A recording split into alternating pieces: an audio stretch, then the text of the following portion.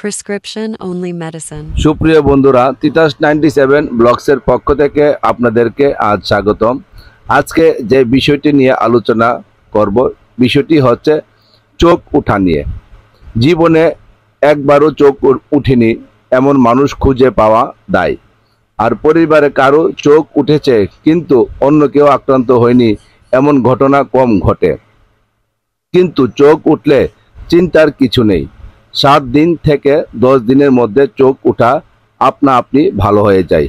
বিশেষ করে আমাদের দেশে শীতকালীন আবহাওয়ায় চোখ ওঠার সমস্যা বেশি দেখা দেয়। তবে চোখ ওঠার পরে অবশ্যই চোখের বাড়তি যত্ন নিতে হবে। কেন চোখ উঠে? চোখ উঠলে চোখ লাল হয়ে যায়, কিছুটা ব্যথা ও খচখচ ভাব থাকে।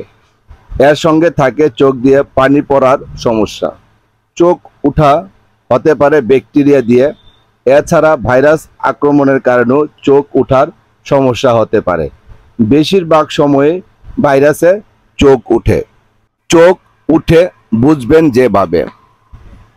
অপরিষ্কার ও নোংরা জীবনযাপন চোখ ওঠার অন্যতম কারণ। চোখ ওঠা রোগে চোখ লাল হয়ে যায় আর এমনটি হয় এই কনজাইভিটিভ রক্তনালীগুলো প্রদাহের কারণে। ফুলে বড় হয়ে যাওয়া এবং তাতে রক্ত প্রবাহ বেড়ে যাওয়ার কারণে।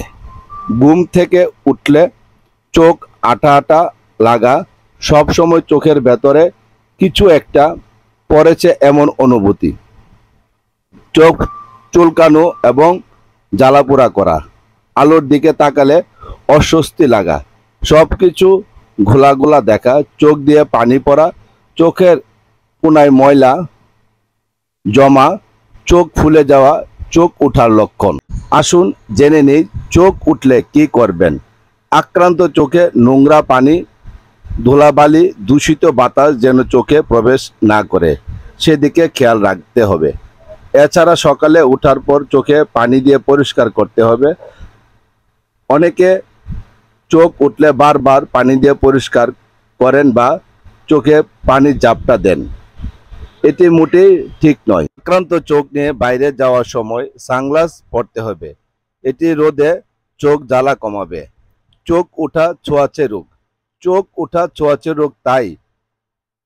যাদের চোখ উঠেছে, তাদের সংস্পর্শ পরিহার করতে হবে। চোখ আক্রান্ত ব্যক্তির রুমাল, কাপড় চোপড়, তোয়ালে ব্যবহার করা যাবে না।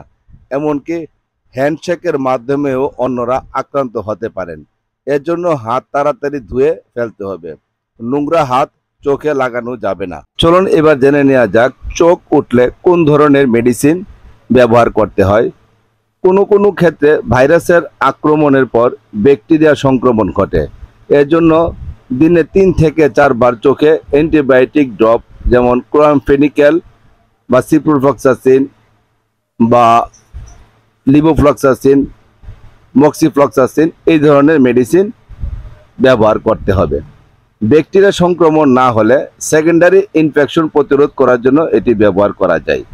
চোখে চুলকানি থাকলে অ্যান্টিহিস্টামিন সেবন করতে হবে।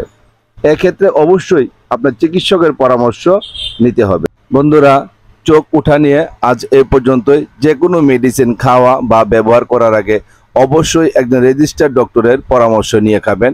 বা ব্যবহার করবেন। একজন রেজিস্টার্ড ডক্টর রোগীর সার্বিক দিক চিন্তা করে প্রেসক্রিপশন করে থাকে। আর এই কথা বন্ধুরা, স্বাস্থ্যই সকল, সুখের মূল। স্বাস্থ্যের প্রতি অবশ্যই খেয়াল রাখবেন। আর আপনি যদি স্বাস্থ্য সচেতন হয়ে থাকেন, তাহলে আমার এই চ্যানেলটি সাবস্ক্রাইব করে রাখতে পারেন। কারণ এখানে প্রতিনিয়তই মেডিসিন বা বিভিন্ন টিপস নিয়ে আলোচনা করা হয়। ভিডিওটি ভালো লাগলে প্লিজ একটি লাইক দিবেন। ভালো থাকেন।